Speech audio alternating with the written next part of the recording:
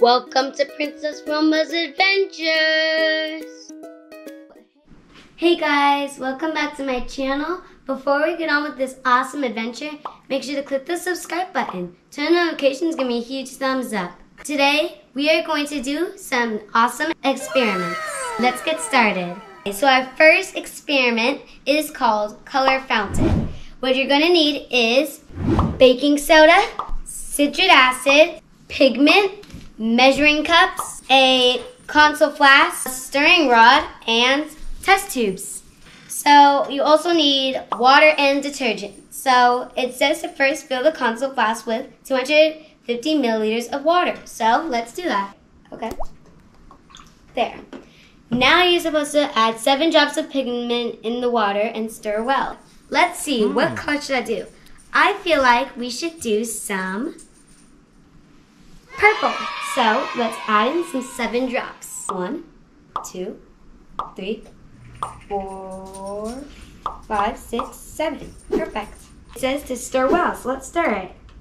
Whoa, look at that color, guys. Look how cool that is.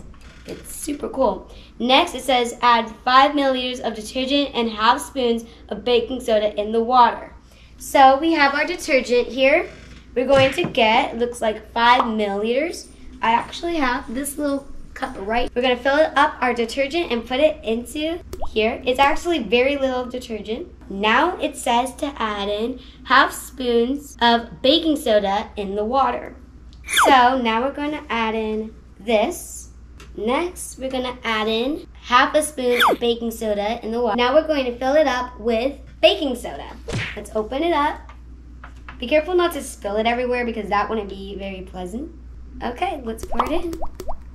Okay, guys, that means when we add in our citric acid, it's gonna have a massive explosion because the base and the acid mixed together makes a concoction that will make diactive bubbles that will foam over and make a cool explosion. That will be super cool. So let's close up our baking soda, do our citric acid. This is actually a little different from the baking soda because it's more like clear crystals. Assistant, do you think that's good enough? I think it looks perfect. Okay, let's add it in. Okay, let's be careful, guys. He's gonna have a magnificent explosion. Three, two, one. Woo! Whoa!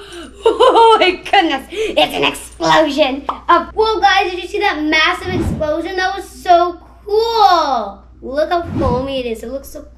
When I move it around, it feels super thick. And at the bottom, if you can see that it's darker purple, probably that's the water. And on top, it just foamed over.